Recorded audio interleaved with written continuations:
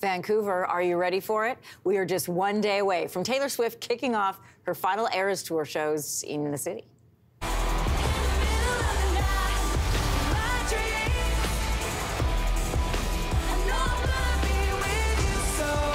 Can't believe it's almost done.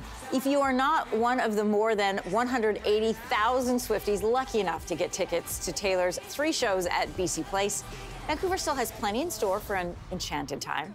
We're jo- for more this morning, we are joined by Royce Chwin, CEO of Destination Vancouver. Good morning.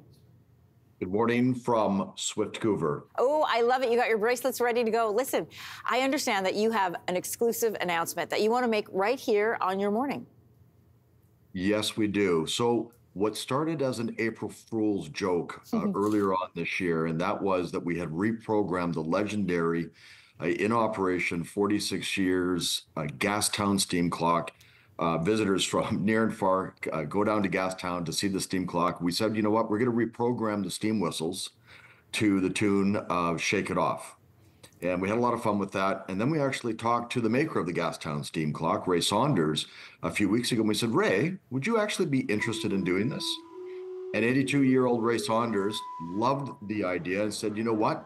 Let's make this happen. And so that's what we've done for the first time in its 46 years in existence. We have changed the tune of the Gastown steam clock to shake it off from now to December the 13th, which happens to be Taylor Swift's birthday.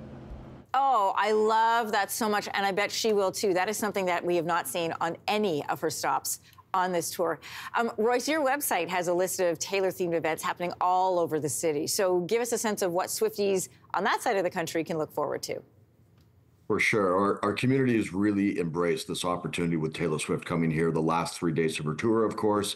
Whether you are in a restaurant, whether or not uh, you're shopping. Uh, one recent example, a current example right now is the Capilano Suspension Bridge. They do this fantastic uh, holiday lights program, and they're doing the uh, Taylor's version of the holiday lights, and they've got all sorts of Taylor Swift inspired activities and songs and things happening at the Capilano Suspension Bridge.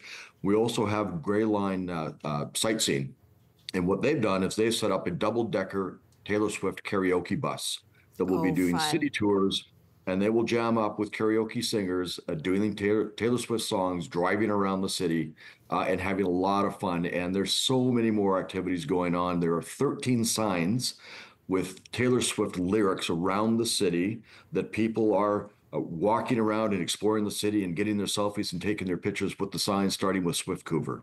Oh, I know. We've been showing some of those signs. It's so much fun to see. And, you know, having just gone through that experience here in the city of Toronto, it really does inject just this feeling of positivity and a lot of sparkles uh, into the city. Hey, I was curious about, you know, here in Toronto, they did what they called like tailgate parties. So people would come and they'd come dressed up before the concert and they'd hang out and share bracelets. But it, there's not something like that happening in Vancouver, I understand. Uh, What was the decision around that?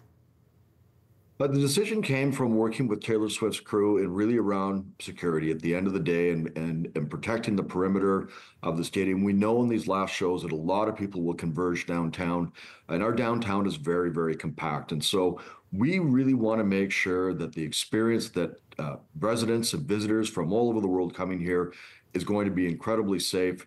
Uh, there'll be lots of opportunities throughout the community to exchange bracelets in all kinds of different areas of the city. And so that's why we made that decision. It really is to have uh, everybody have a really great and safe experience. I bet it's a really fun guessing game in Vancouver right now about who's going to show up because it is the end of this tour. So will Travis Kelce be there? Will Ryan Reynolds and his family show up? Like who is coming to the city must be the game that a lot of people are playing. Um, do you have any insight for us of anybody big who might be coming to the stage? I have no insights. We know people are coming up because, as you know, we're just north of LA, and that is a quick trip up for uh, for our friends in the U.S. So we, we've had word that people are coming up. I can't confirm exactly who is coming up. Oh, well, we'll have to wait and see. Uh, last question for you, Royce. When final numbers come in, the Eras Tour is on track to be the highest grossing tour in music history, which really speaks to the power of the industry of Taylor Swift. What does it mean to Vancouver's reputation that Taylor is ending the tour in that city? Well, boy, what a coup! And hats off to our partners um, who who reached out to Taylor to have this tour end here.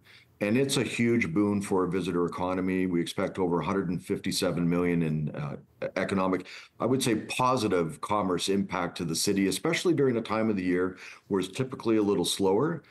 But the thing is that it will expose Vancouver to maybe a lot of people who haven't really thought about the city or don't know about the city, and they're going to get to see all kinds of uh, uh, perspectives of the city from what uh, fans will be doing and sharing their selfies and sharing their images and their experiences here in the city.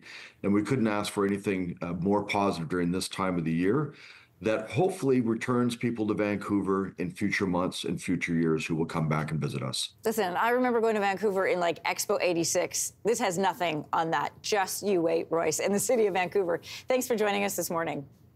Thank you very much for having me from Swiftcouver.